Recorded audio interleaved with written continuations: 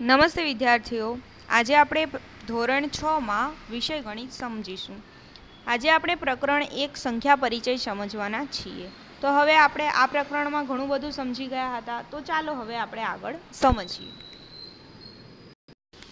હવે આજે આપણે આગળ સમજીએ one point three point four. આસન, આસન્ય મૂલ્ય દ્વારા નજીકના હજારનો અંદાજ.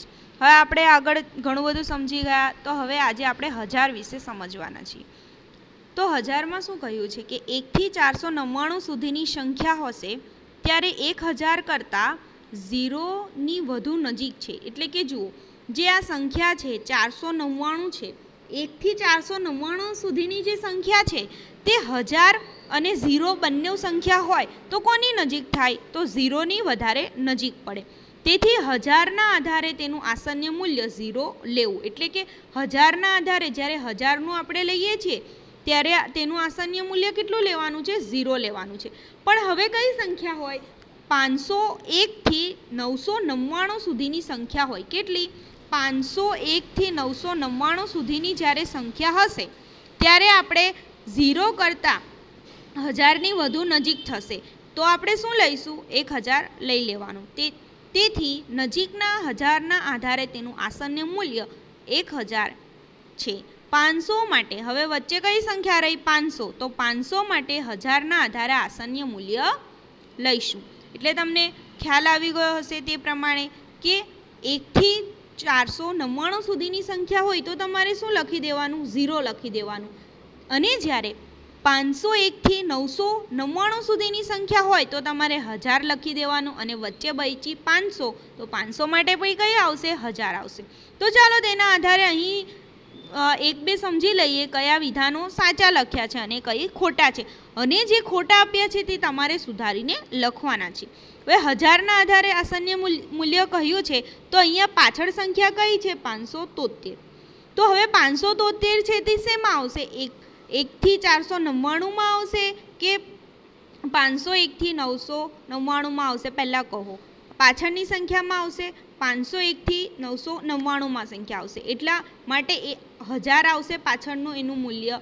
હવે આના મૂલ્યમાં આપણે હજાર લખ્યા એટલે આગળ એક વધી જશે. આગળ એક ઉમેરવો પડશે. બે છે એટલે ત્રણ કરી દેવું પડશે. એટલે અહીંયા ત્રણ લખવાનું અને પાછળના ત્રણ ઝીરો એમના એમ લખવાના. એટલે આનું આસન્ય મૂલ્ય જે આપ્યું છે તે સાચું આપ્યું છે. તે જ પ્રમાણે તમારે આ બધા જ ચેક કરીને જે ખોટા હોય તો તમારે સુધારીને લખવાના છે. આ તમારું હોમવર્ક છે. ત્યારબાદ હવે આપણે આગળ સમજીએ પ્રયત્ન કરો. આપેલ સંખ્યાના જુઓ, જે સંખ્યા આપી છે તેઓના દસ, સો, હજાર અને દસ હજારના આધારે આસન્ય મૂલ્ય શોધો. હવે તમને આપી જ દીધું છે કે કોના આધારે તમારે આસન્ય મૂલ્ય શોધવાના છે. પહેલાં તો દસ આપ્યું છે, બરાબર? પહેલાં દસ આપવામાં આવ્યું છે. જરા ઝૂમ કરીએ આપણે, એટલે તમને ખ્યાલ આવશે. હવે પહેલાં દસ આપવામાં આવ્યું છે. દસ એટલે એકમ અને દશક દસ એટલે કે છેલ્લી બે સંખ્યા તમારે જોવાની. છેલ્લી બે સંખ્યામાં ફોર્ટી સેવન છે. હવે ફોર્ટી સેવન છે એ ફોર્ટી નાઇન કરતાં અપ આવે ઉપર આવ, ઉપર આવશે એટલે આપણે આમાં શું લેવાનું છે? ઝીરો ઝીરો જ આવશે. એટલે આપણે લખવાનું છે, પહેલાં આગળની સંખ્યા બેઠી લખી દેવાની, સાત, પાંચ, આઠ. હવે શું લખવાનું? ઝીરો ઝીરો કેમ ઝીરો ઝીરો કારણ કે પાછળ સુડતાલીસ આપેલા છે એટલા માટે. ત્યારબાદ સોના આધારે લેવાનું છે. હવે આપણને સો આપવામાં આવ્યા છે. સો એટલે છેલ્લી ત્રણ સંખ્યા. તો તે ઉપરની સંખ્યા આપી છે અને તેમાં એક વધારે, વધારો કરી દેવાનો. આઠસો સુડતાલીસ છે. તો આપણે તેમાં ઝીરો ઝીરો લખીશું અને આગળ પંચોતેર છે. તેની જગ્યાએ છોતેર લખી દઈશું. છોતેર, ત્યારબાદ ત્રણ ઝીરો મૂકી દઈશું. આ રીતે આપણે આસનનું મૂલ્ય શોધીશું.